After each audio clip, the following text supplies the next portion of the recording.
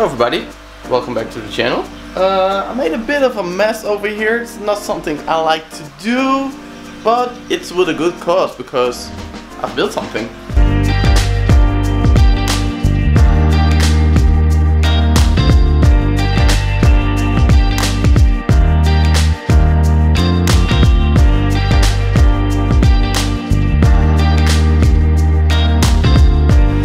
Making this video has been a bit of a struggle. I'm a few days later, but as I mentioned in the Q&A video, I got some awesome projects coming and I need to build a whole lot of stuff.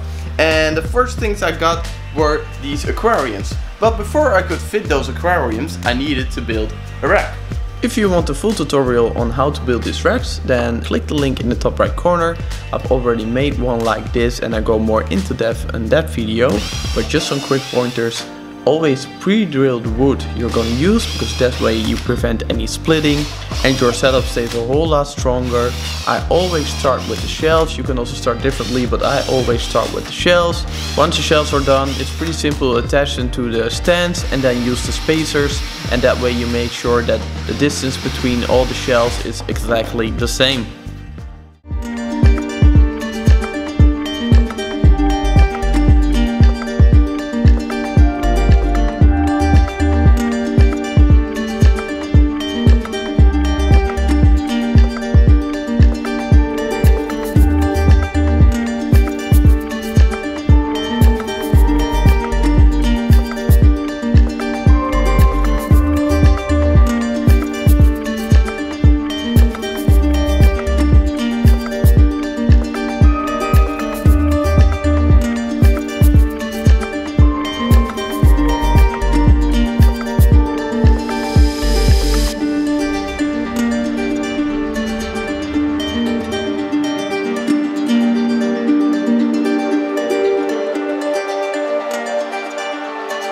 And this is where we ended. So the rack is almost done. At least the basis is done. As you can see, I still need to put the top on there. Add some additional light and uh, make sure all the electrics is uh, wired properly. It's, it's still loose because I'm testing.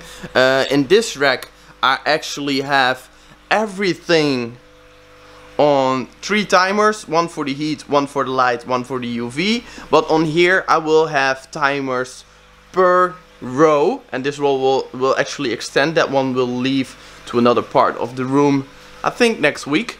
Um, so there will be a row over here a row over here here and here. So I can have a little bit of difference depending on the species I keep in there. Um, yeah yeah it's basically this pretty much the same build as here.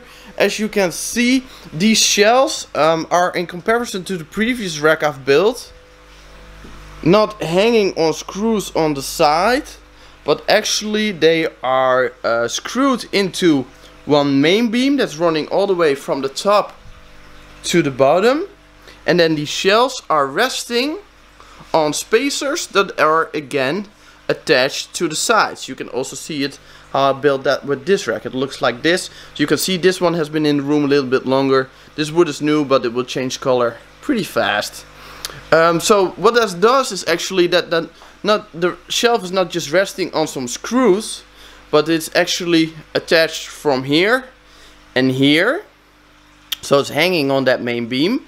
But these support the shelf also. So a lot of that weight is driven into these spacers and then all the way into here into the ground. And that makes it a whole lot sturdier and a lot more safer to have the weights I'm to be putting in here because in here each shelf will rest at least these four will rest about 250 kilos each look someone is actually active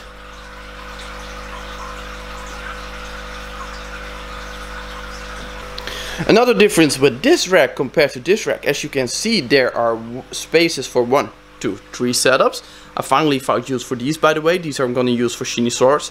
Anyway, um, and that's partly also because the higher setups, but also because there is still a lot of space between the ground and the first setup. I did that with the reason, and that reason is not needed anymore, so I thought, well, maybe make better use of the space. I'm also getting some terrestrial turtles and tortoises added.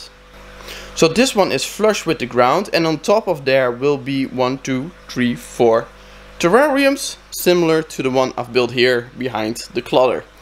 Um, so yeah, that's I think that's gonna look pretty well. I don't like the dark color, but in here it doesn't look too bad. And I think if I have these setups over here on this level, framed by this lighter color of wood, it will look kinda okay. So those will be over here, and here will be all the aquariums. Now let's talk about the aquariums I just got, because I made some things different to what I usually do, and that's something I wanted to share in this video.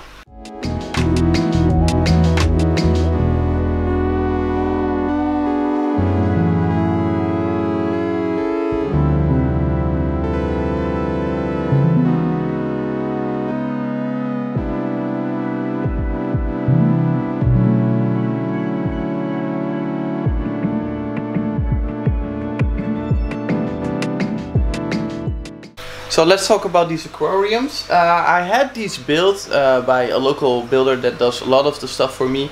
Um, with the idea that I want to test something out and if it works I will also use it for the Sacalia and other species. But for now I'm going to try these with some new turtles I got. Now uh, the base is pretty much the same. It's a 6mm glass setup. There's black plastic covering all the sides so the animals can see through to each other and it also gives them a bit more of a secure feeling and it just looks better in my opinion. So that's pretty much all the same as what I usually do. There's 20 centimeters of space between here so I have easy access to the setups. I thought about making the space a little bit smaller for space you know so to add bigger setups or whatever. Uh, but I don't want to do that. I think 20 centimeters is absolutely minimum because of the basking spots, UV light, and also uh, me getting in there and also with heat uh, getting out and plenty of ventilation. So that's why I stay with 20 centimeters and I will keep at least 20 centimeters of space in all my racks between the aquarium and the yeah, top shelf, let's say. The aquariums are 60 centimeters deep, 40 centimeters wide and 30 centimeters high. As you can see I've lined the rack with these air tubings. These I still had hanging around, I might replace them but they will get dirty anyway. Anyway, I've lined the racks with these air tubings because everything in this room will run on air eventually. So this is the start of that. As you can see um, it runs all the way through here and then to an air stone. Now there will be a filter on there of course this was just for testing. These smaller setups will have separate sponge filters, but the bigger ones, the bigger new ones, will actually have matte filtration with air. I will show you how that works. Everything is controlled with a valve per setup. And I definitely can recommend these metal ones in comparison to the plastic ones. These metal ones are way more accurate and they also pass through a whole lot more air compared to the plastic ones so your output uh, is way higher so that's great and it yeah looks a lot better I think. Now as you might have noticed these are quite far to the front and that's because I want to have easy access to the filtration and also because I wanted to have the egg laying areas of these all the way in the back because that's the most stress free zone. Um, I can still reach it easily uh, with these height and uh, with this depth of this aquarium if we're gonna use deeper aquariums for some bigger turtles, then I need to uh, have another solution, but this works for this size. But yeah, the egg laying area is all the way over there and I wanted to have easy access to the filter and just see how this works. This is really something, uh, I'm just trying out new stuff on here that I don't usually do just to see how it all works. Uh, but yeah, as you can see there's a whole lot of stuff different over here. To give the animals easy access to the land area, I have these trays and uh, yeah, these are very cheap and they work great. You can easily uh, get these up to size.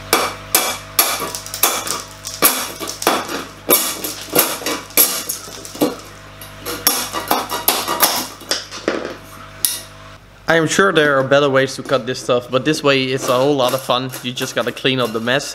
Uh, do make sure you clean up the sides so there are no sharp edges because uh, although turtles are stronger than human fingers, still you don't want them to get damaged. I believe this stuff is called light diffuser, but if you can find it in the Netherlands, I actually find it at your local aquarium store because these are often used to cultivate corals uh, on. Now these ramps I have from the back all the way to the front because these animals are not the best climbers or at least I don't know I think so. But for Sacalia I will actually have them way more up high like that because those live in hill uh, yeah hill habitats hill stream type situations. And they are very good climbers the same as Platysternon. So those I will actually give a, a much steeper ramp so they have to really like they would in nature uh, climb up a hill sometimes when they want to bask or get out the water anyway that's it for the ramps the basking spots are on these ramps I will have a slate plate over here there's one also a bit more above the land area, but I will try to have them above the stairs so they can easily slide into the water if they want to. And then also it heats up the water a little bit more.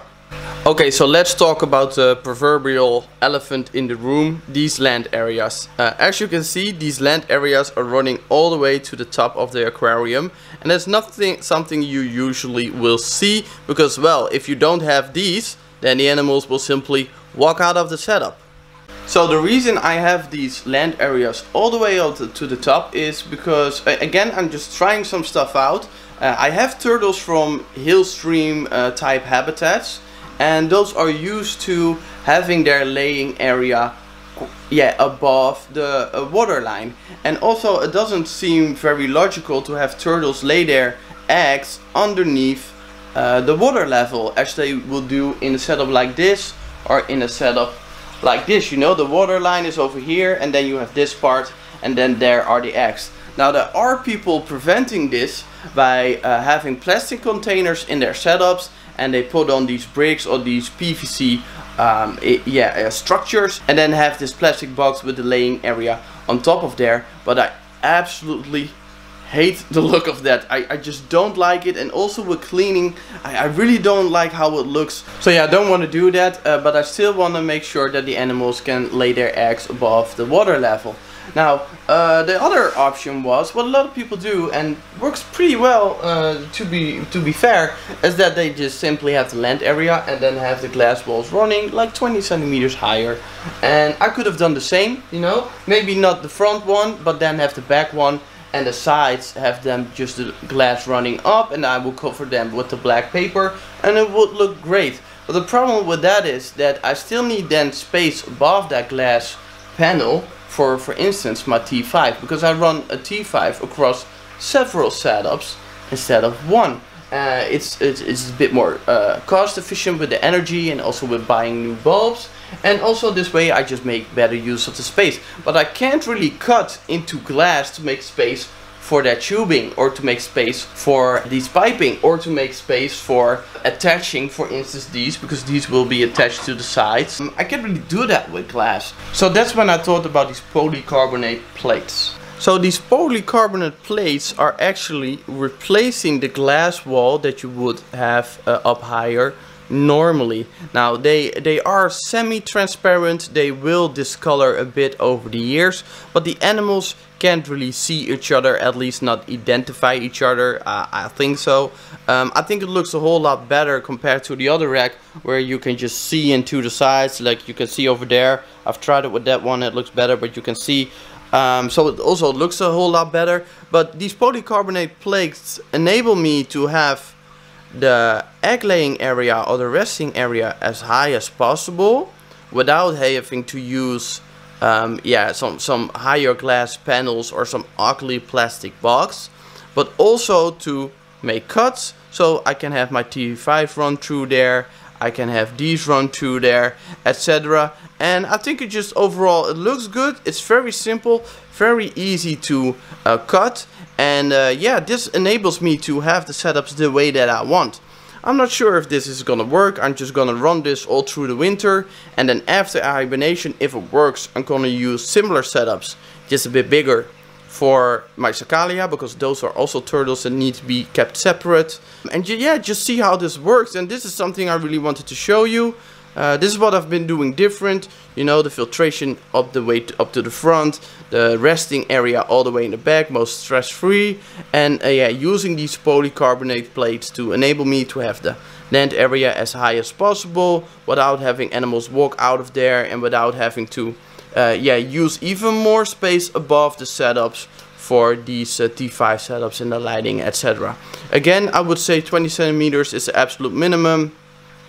Um, these T5s are not directly above the land area because that way the animals can uh, bask under the UV a little bit lower or higher depending on their needs and also it lights a bit of the water area. Now I will have additional LED lighting. I'm just doubting between one long bar um, which will be pretty intense or just have a 13 watt compact lamp above each setup. um, yeah thinking about the animals that I'm gonna keep in here.